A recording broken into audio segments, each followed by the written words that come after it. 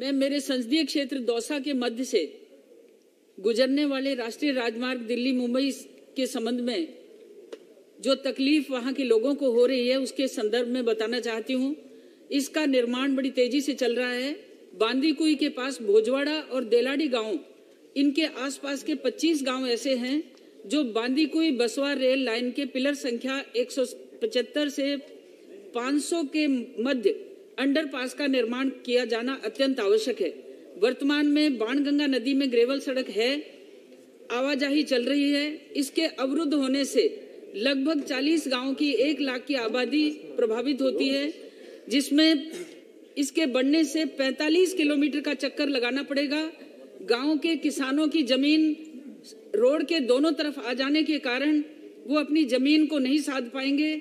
ऐसी स्थिति में भोजवाड़ा गाँव के पास अंडरपास बनाया जाना अत्यंत आवश्यक है।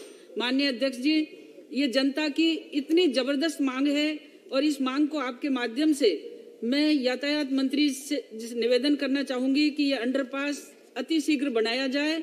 यदि ये नहीं बनाया जाता तो ये लगभग एक लाख की आबादी बहुत परेशानी में आएगी और ये हो सकता है बाधा डालने के लिए आंदोलन भी करने को तैयार हो जाए।